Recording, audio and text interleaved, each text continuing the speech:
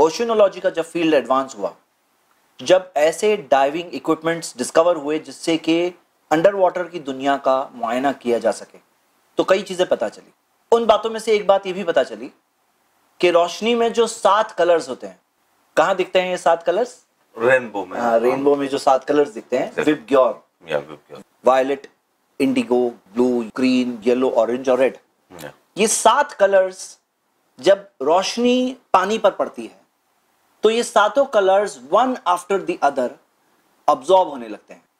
यानी कि पानी के नीचे के तबकों में कुछ कलर्स नहीं जा पाते हैं। जैसे मिसाल के तौर पर, जब रोशनी पानी पर पड़ती है तो सबसे पहला कलर जो अब्जॉर्ब हो जाता है वो है लाल कलर 15 मीटर से 30 मीटर के दरमियान पानी के अंदर जब पहुँच गए 15 से 30 मीटर नीचे तो रेड कलर अब्जॉर्ब हो जाता है। यानी उसके बाद रेड कलर की जो चीज़ें हैं, वो रेड नहीं दिखेगी, दूसरा कलर दिखेगी। क्योंकि रेड कलर वहाँ मौजूद ही नहीं होता है। यानी अगर खून निकले तो पता नहीं चलेगा क्योंकि उसका खून का कलर कुछ दूसरा दिखाई देगा, वो रेड प्योर नहीं दिखाई देगा। उससे आगे जब हम बढ़ते हैं तो ऑरेंज कलर चले आता है, तीस से पचास मीटर में। उससे गहरे जाते हैं, पचास से सौ मीटर पहुँचते हैं तो येलो कलर भी चला जाता है। उससे नीचे जाते हैं, सौ से दो सौ मीटर में ग्रीन कलर चला जाता है। दो सौ मीटर के करीब ब्लू कलर ऑब्जॉर्ब होता है।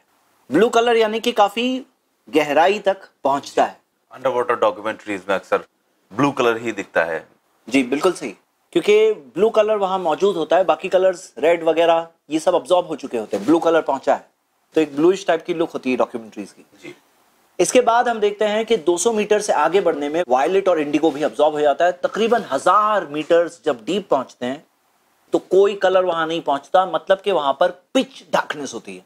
पिच डार्कनेस टोटल अंधेरा। किसी तरह की रोशनी नहीं पहुँचती। यहाँ तक आके वो हज़ार फीट नीचे जो मच्छियाँ रहती है उसमें से कुछ मच्छियाँ ऐसी भी होती है जिनके पास खुद के जिस्म में रोशनी होती है। और वहाँ पर ऐसा हाल होता है कि जैसे कोई अगर हाथ भी निकाले तो दिखेगा नहीं क्योंकि पूरा के पूरा अंधेरा फुल डार्कनेस अब ये बात जो मैंने आपको बताई ये कब हो सकता था जब वैसे इक्विपमेंट डिस्कवर हुए जिससे कि उतनी गहराई उस टाइम पे जाने पे जाकर ऑब्ज़र्व किया जा सके। जी। क्या ये बात 1400 साल पहले किसी को पता हो सकती थी? बिल्कुल इम्पॉसिबल है। लेकिन कुरान की कायत है। सूर्य नूर में है सूरा नंबर 24 आयत नंबर 40 अल्लाह ताला ने फरमाया ओ का जुलुमातिन फ़ी बहरिन लुजीन या वो अंधेरे, अल्फाज पर गौर करिए, अंधेरा नहीं कहा गया, अंधेरे। जरा वो बात जो मैंने आपको इससे पहले बताई, उसे नज़र में रखते हुए ये आयत पढ़ रहे हैं। और वो अंधेरे, उन अंधेरों की तरह, फ़ी बहरिन लुजीन जो एक बड़े गहरे समंदर में होते हैं। बाहर समंदर, लुजीन गहरा समंदर। अल्लाह ताला ने गहरे समंदर का ज़िक्र किया। यगशाहु मौजुन मिन फौqihi मौजुन मिन फौqihi सहाबुन, जिसके ऊपर मौजें होती है, मौजों के ऊपर मौजें होती है, उसके ऊपर बादल हैं।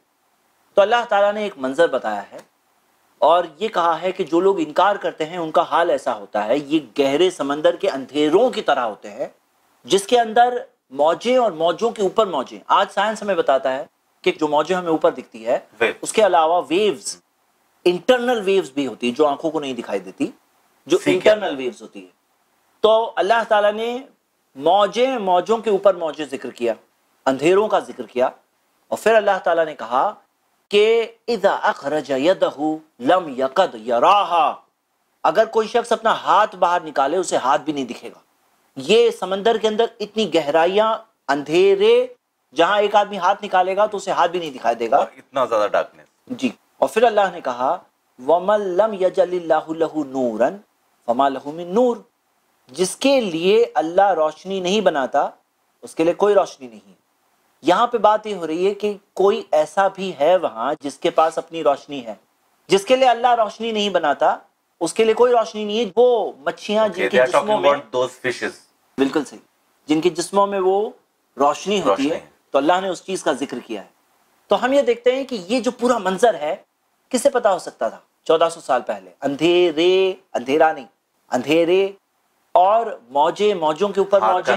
हाथ निकालो तो हाथ तक ना दिखे जो एक हज़ार मीटर से ज़्यादा की गहराई पर ये चीज़ होती है। जिसके पास रोशनी अल्लाह ताला नहीं देता उसके पास कोई रोशनी नहीं।